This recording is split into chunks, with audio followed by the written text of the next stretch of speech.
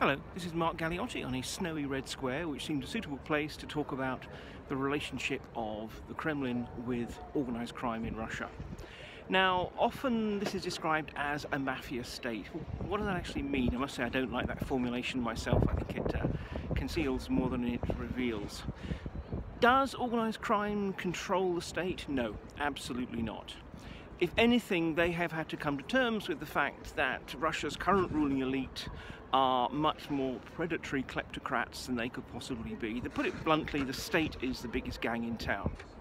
But does this mean that the state, the Kremlin, Putin, the security services or whatever control organised crime? Not really. This is not a country in which actually the mob is run from the government. Rather, it is that Putin has created, in the midst of his, in many ways, self created geopolitical struggle with the West, a mobilization state. His view that any individual, any institution can and should feel that when the state needs it to do something, it does it, or else. And this applies to, to businesses, this applies to media outlets, and it also sometimes applies to organised crime.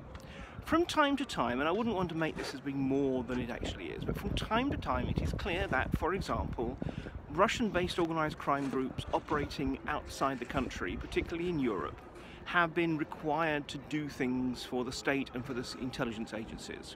Maybe it's move a little bit of money into this black account or that that then they can use to support some populist or divisive political movement. Maybe it's actually just to, to kill someone, as we've seen, for example, with Chechen fundraisers and supporters um, in Turkey. The bottom line is this. When Putin came to power, he offered organised crime a social contract of sorts don't do anything that is an overt challenge to the state. And that means none of the sort of drive-by shootings and car bombings, which is how they had been resolving their disputes in the 1990s.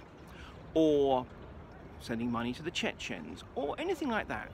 If so, then obviously we will treat you as enemy of the state and, and come down on you very, very hard indeed.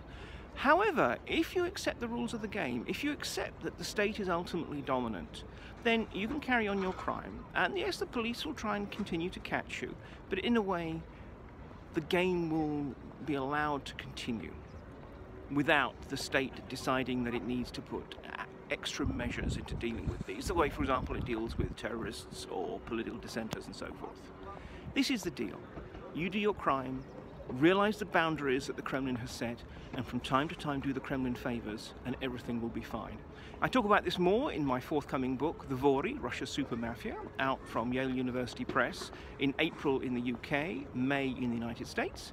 I hope you take a look, I hope you buy it, I hope you read it and enjoy it.